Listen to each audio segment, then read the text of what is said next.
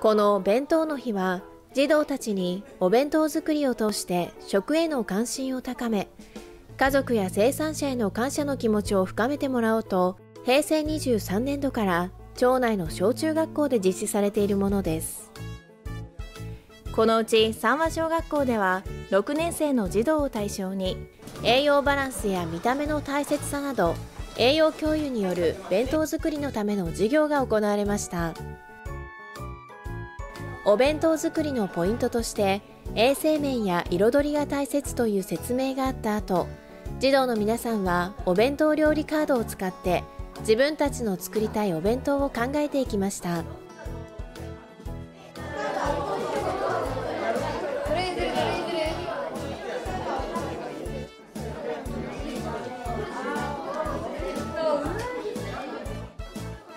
児童の皆さんはどんなお弁当が今の時期に合っているか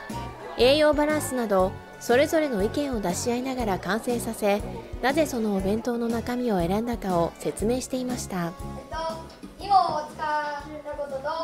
あと美味しそうなものを入れたことです。なるほど確かに一瞬も大事です。えっと味の薄さとまたバランスを同じぐらいにしました。そしてこの日考えた献立を11月15日には児童らが自分で調理お弁当にして持参しました。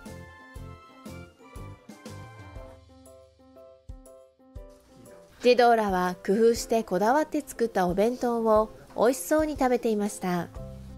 美味しいです。教員の一人はバランスのいい食事をすること美味しいものを食べることは心を満たすことにつながります。